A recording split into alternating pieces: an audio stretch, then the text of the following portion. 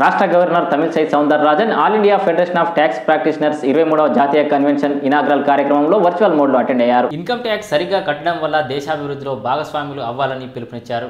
Income tax రూపంలో వచ్చే ఆదాయంతోనే ప్రభుత్వాలు అభివృద్ధి సంక్షేమ పథకాలు చేపడతాయని ఆమె తెలిపారు.